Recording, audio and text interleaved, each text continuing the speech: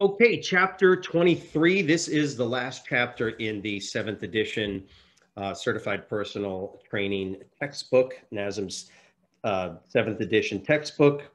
Last chapter, and it's on chronic health conditions and special populations. Now, just keep in mind, uh, what NASM has basically done is given, given all the information in the previous chapters and focused, for the most part, on uh, apparently healthy individuals and so, appropriately enough, the last chapter here is going to speak to those uh, those individuals, those special populations, and those individuals with chronic health conditions. This is a very, very important chapter uh, because, for the most part, what we're finding um, more and more often is that our clients, in general, the general population, um, has chronic health conditions at some level or another, uh, whether it be whether it be mild pre-hypertension all the way to uh, full-blown um, obesity and full-blown diabetes or or lung issues, uh, coronary artery disease, things like this. So, you know, this final chapter is really designed to help to help you to understand that um, outside of that population of apparently healthy individuals who already have issues, right? Musculoskeletal issues, the, you know, the uh, distortion, postural distortion syndromes, all of those things that apparently healthy people have is one thing. Uh, but when you move into chronic health conditions, right, in special populations, uh, this requires a, a little, a little special, you know, knowledge base and skill set. And so that's really what you need to know in chapter 23. Keep in mind, scope of practice is critical when you're going through this material. You always got to keep that in the back of your mind. We are not diagnosing. We are not, um, we're not medical practitioners. So it's not like we are going to cure the chronic disease. Remember, chronic diseases are those diseases that uh, last longer than six months. And generally, you're not curing them. They're being managed if they are being managed, right? So you got to keep that in mind that chronic health conditions, special populations, we're seeing more and more of that. So it's important to uh, keep this in mind. And certain special populations are age related, right? So here we start with um, physiological differences between children and adults. And, and remember, um, in this chapter in particular, I'll be, I'll be honest with you, this is going to be your best friend because for the most part, uh, rewriting the tables is really what the majority of this chapter is going to be about because this is uh, probably of all the chapters in the book, this has the, one of the one of the highest number of tables in the entire chapter. And um, and the reason that is is because basically this is standardized information that you basically have to memorize. You have to understand it, but it's a lot of memorization. So as we move through the chapter, you're going to notice I'm basically just going to be saying, here it is. It's right in the table. Of course, read the text, but you're going to find it's going to be a lot easier to to rewrite the tables and the information in the tables. Look, just like we've talked about in previous chapters, um, it's going to be a more efficient, efficient study and practice if you look at the tables, which are designed to compress, compile information into a systematic, formal way, um, and try to rewrite those and, and try to memorize them like that. That's the way I do it, uh, and it works really well. So when we get to uh, when we get to the physiological differences between children and adults, um, table 23.1 basically gives you a compilation of uh, the considerations and things you would have to, things that are comparable, things that are quite different between youth and adult. And why is that the case, right? So considerations for um, health and fitness, as well as considerations for sports. So if you're training high school athletes or middle school athletes, you know, there are things that you have to take into account. Then there's the issue of resistance training for youth. And there are guidelines for training, training youth. Just keep in mind that, that as with adults, you know, there's big differences between 13 year olds, right? certain 13 year olds have matured very quickly. Others have not. There are, there are 13 year old uh, boys who are already very mature physically compared to a 15 year old. And you know this if you've, if you've, um, you know, if you got kids or if you can't even remember yourself from high school, there was always late bloomers and there were, you know, I remember, I remember friends of mine um, in middle school that were already shaving. I mean, it was uh, quite, quite bizarre. So there is that difference, but there are some basic, basic guidelines for youth training. And then there's the opposite end of the spectrum, right? Page 763, older adult. And again, you know, there's a lot of review here. Arterial sclerosis, um, uh, issues related to osteoporosis for older, for older adults um, in particular. Um, you're getting a little bit of review. Again, does the word proprioception mean anything? Sure, you've seen it about 10 times already throughout these different chapters. So here's a little bit of review. And as we're looking for older adults, we have to take into account, um, you know, some of the things that are related to dealing with uh, people as they age. And here's a little bullet point on page 764, maximal attainable heart rate. All of these things are going to decrease as you as you age. Cardiac output goes down, and so these are the things that you would want to write. And uh, by the way, it's intuitive. I mean, as people get older, you would imagine physical capacity goes down. And what are indicators of physical capacity? Cardiac output, muscle mass, right? Balancing, all of these things, all the way down to um, anabolic hormone levels, right? Testosterone levels decrease in men, of course. Uh, um, and insulin sensitivity decreases there. Are all of these issues that we have to take into account when we're dealing with older adults. And of course, uh, the, the next two tables, three and four, 23, three and four, uh, give you the considerations for physiological training considerations and basic exercise guidelines. Now we did that for the youth, and here it is for the adults. Again, these are generalities. There are older adults who are in incredible condition and you can train them you can train some 70 year olds the way you would train a 30 year old i mean there's it's it's really quite remarkable. So that remember with all this you want to memorize it of course but just keep in mind in the real world everybody's different and we um, we always we always abide by the unique um, physical attributes variables biomechanics of the of the individual. Okay now we get into chronic chronic health conditions and obesity is um, you know is the uh, is the main one that we look at. Um, obesity has a, a bmi of 30 or greater and there are different different levels uh, categories of um, of obesity. There's uh, obesity then obesity 2 and then obesity 3 and that's related to bmi you've seen that chart before. What are the causes of obesity? Um, i'd be a little careful to give just the one, what people think is, well, they eat too much. Mm, sorry, that's not really the case.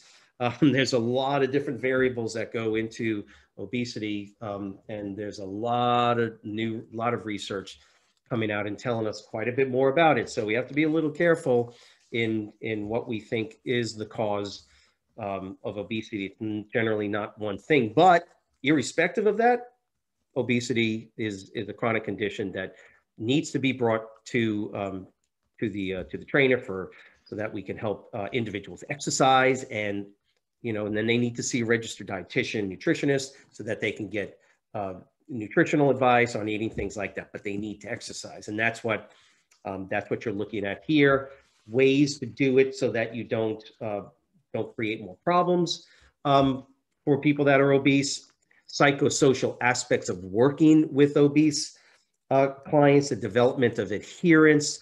By the way, with uh, special populations like this, there's that one word that is critical, and it's rapport. If you can develop rapport with people that are overweight and obese, you are you have a real good shot at helping them to um, to maintain consistency in their in their training for long-term uh, weight loss, which is what we're looking for. So again, table twenty-three 23.6, 23.7 are the obesity tables um, look through them. They're all basically the same mode, frequency, intensity, basic guidelines. You're going to notice some similarities. Uh, my, uh, my recommendation is that when you write all these out, take a look at them, put them together and go, you know, it looks like the frequency for obese patients is very similar to diabetes. You're going to see a lot of similarities. Um, you'll see more similarities than you'll see differences. So the next one is diabetes. And as we go through, as we go through, um, or as you're going through each of these sections, look at the disease, chronic disease, um, illness, look at it understand it. Um, and then look what the exercise guidelines are.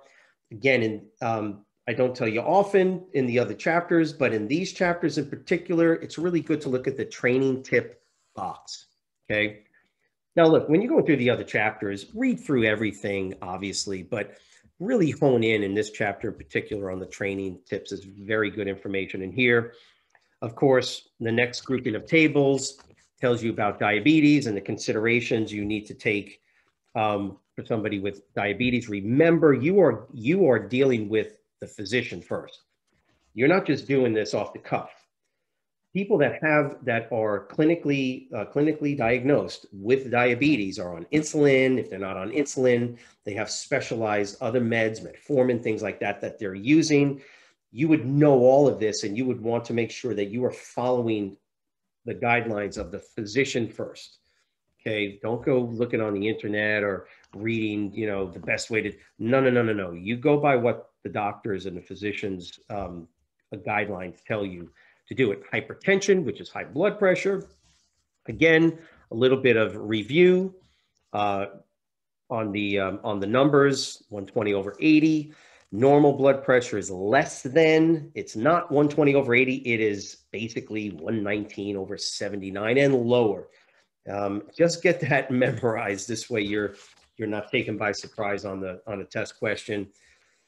And of course, the um, the training the training uh, considerations, right? Table 2310. Once again, read those tables, read through it, um, and and be um, you know be comfortable and confident that you know the material, which means you're going to have to look at it and rewrite it over and over.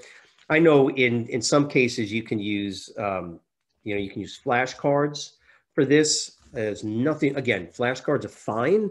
Use them if they if they help you. But again, it's the reading and rewriting that's really critical.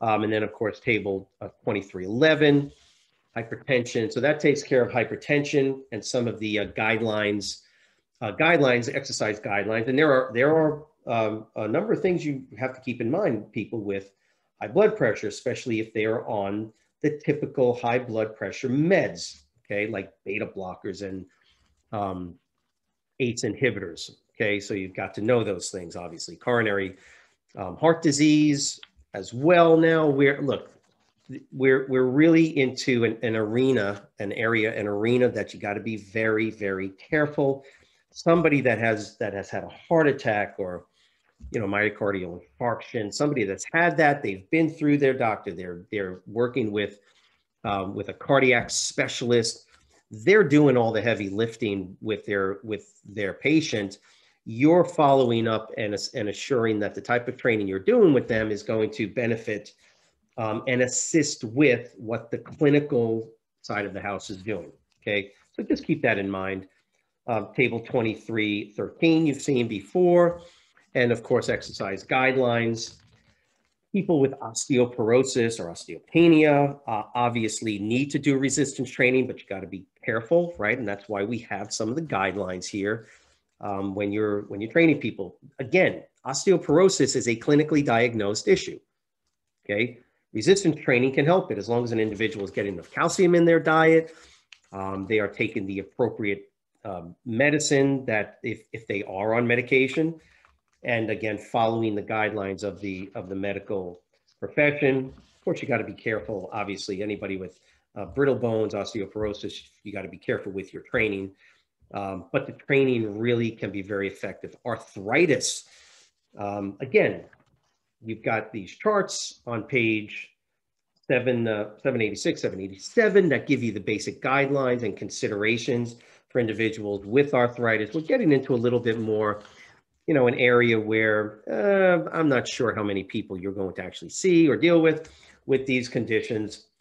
Same thing, cancer, uh, pregnancy. Now, again, with pregnancy, it can it can be, you know, you, you're you're really juggling. It's a juggling act, but you're basically going by what the obstetrician is is, is saying to their uh, saying to their patient, which is, yeah, you can train for another week and then you're done. No more training pretty straightforward and they will be more than more than capable of giving you the appropriate guidelines as a as a woman moves through her the different different phases of pregnancy remember uh, a pregnant woman um, has an increase in um, estrogen hormones, estradiol, and that actually softens and loosens up the ligaments. And that's why pregnant women can only train up to a certain point. They may feel strong, they may feel like they can do a ton of it, right? And they could.